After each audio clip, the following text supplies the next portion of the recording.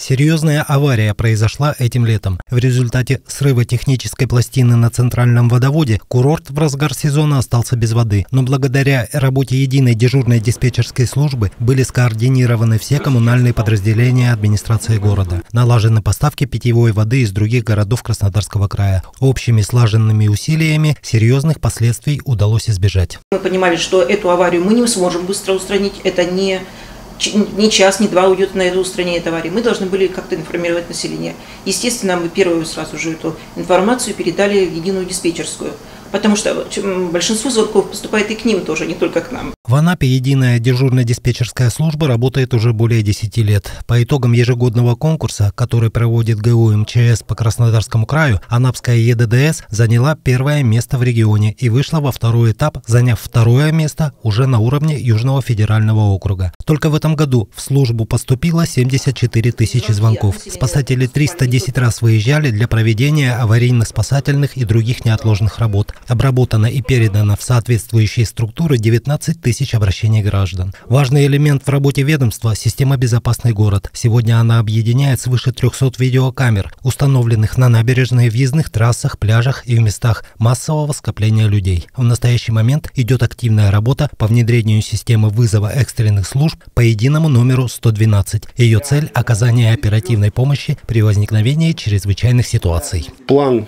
по исполнению э, находится на личном контроле э, главы муниципального образования Юрия Федоровича Полякова. Э, в Краснодаре и в крае его в целом курирует первый вице-губернатор Алексеенко. Финансирование предусмотрено в полном объеме и по нашим оценкам в новый курортном сезоне телефон 112 в Анапе будет работать в полном объеме. Руслан Душевский, Анапа регион.